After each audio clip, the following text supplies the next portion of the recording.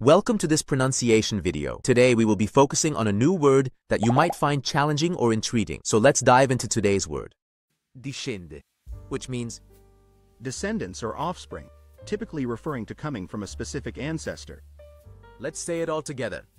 Discende. Discende. Discende. One more time. Discende. Discende. Discende. Thank you for joining us on this adventure in pronunciation. Remember, language is a journey, not a destination. Keep exploring, experimenting, and expanding your linguistic horizons. We'll see you next time.